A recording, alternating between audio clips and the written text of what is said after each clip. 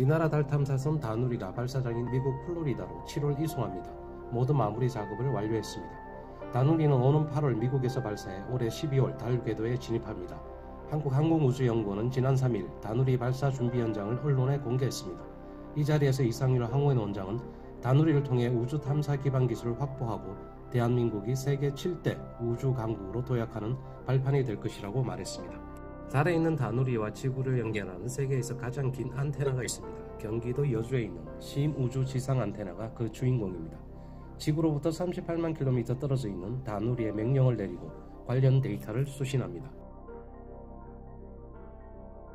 다누리는 2016년 개발이 시작됐습니다. 무게는 678kg입니다. 정상 임무 기간은 안정화 작업 이후 약 1년으로 보고 있습니다. 컴퓨터 그래픽 영상으로 다누리 발사에서부터 달 궤도 안착까지 과연 어떤 경로로 이루어질까요? 2, 1, 0. Ignition and liftoff. 2022년 8월 초 미국 플로리다에 있는 케이프 커네버럴 우주군 기지에서 KPLO가 Space X Falcon 9에 실려 발사됩니다. 발사 후 2분 34초에 1단 분리를 합니다. 2단 점화 후 30초 후에 fairing을 분리합니다. KPLO는 지구 쪽을 향하고 있다가 발사체가 회전하여 지구 반대편으로 향함으로써 탑재체가 태양광을 직접 받지 않도록 보호합니다. 그리고 발사 후 40분 시점에 발사체에서 분리되어 자세를 유지하며 태양 구간에 진입합니다. KPLO의 전력 공급원인 태양 전지판을 차례대로 펼치면서 궤도선 동작을 위한 전력을 만들기 시작합니다. 태양 전지판의 성공적인 전개 이후에는 추력기를 이용한 자세 제어가 시작됩니다. 총 8개의 추력기 중 4개의 추력기를 사용해 태양 전지판이 태양을 정밀하게 바라보도록 자세를 유지하도록 제어합니다. 자세가 안정되고 KPLO가 지상국과 첫 교신을 시도합니다. 지상국 안테나에서 원격 명령을 보내고 KPLO로부터 상태 데이터를 수신합니다. 교신 이후 고이득 안테나와 자기장 측정기도 전개함으로써 비행 형상을 모두 갖추게 됩니다. 이후 별 추적기가 별의 위치를 인식하여 현재 자세를 알아냅니다. 자세 결정 이후 태양 전지판은 태양을 지향하고 있는 자세를 유지하고 고이득 안테나는 지구를 볼 수 있는 위치가 되도록 위성체 자세를 조정합니다. 이제 고이득 안테나는 지구에 있는 지상국 방향으로 정밀하게 바라봄으로써 고속 통신을 시작합니다.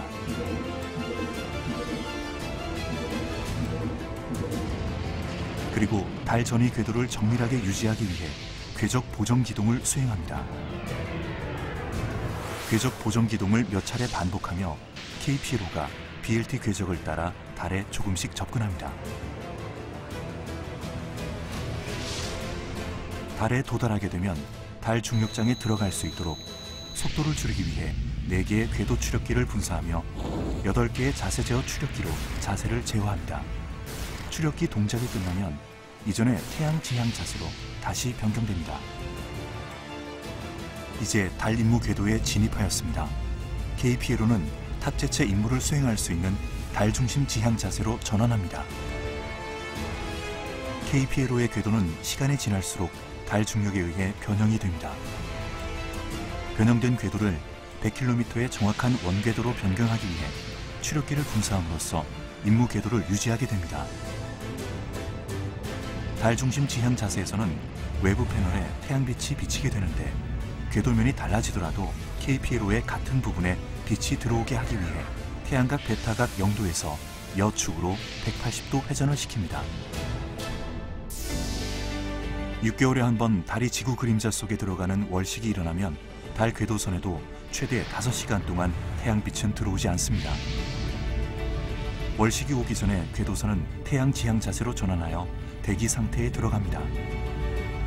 그 기간 동안은 본체는 물론 탑재체도 모든 임무를 중단하고 전력을 충전하게 됩니다. 그리고 월식이 끝나면 달 궤도선은 달 중심 지향 자세로 전환하고 모두 다시 임무를 재개합니다. 총 중량 678kg, 임무 기간 1년. KPLO는 6개의 탑재체가 성공적으로 임무를 할 수 있는 모든 준비를 마쳤으며 이제부터 정상 임무 운영을 수행하게 됩니다. 다누리에는 총 6개의 과학 장비가 실려 있습니다.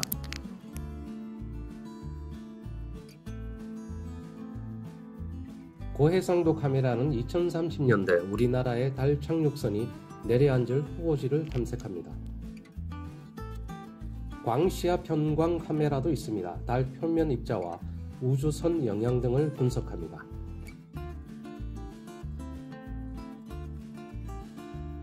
감마선 분광기는 달 표면의 자원 탐사를 위한 장비입니다.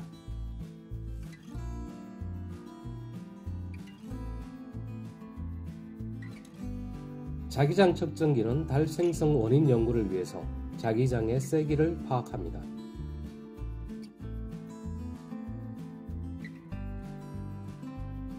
섀도우캠은 연구 엄령 지역인 달 극지방의 고품질 영상을 확보하는 데 사용합니다. 우주 인터넷 탑재체도 실렸습니다. 심우주 탐사용 우주 인터넷을 여러 상황에서 실험합니다. 대한민국은 이제 달 탐사로까지 우주 영역을 확대하고 있습니다. 오는 6월 15일 누리호 2차 발사에 이어 달 탐사선이 안착할 수 있을지 눈길을 끌고 있습니다.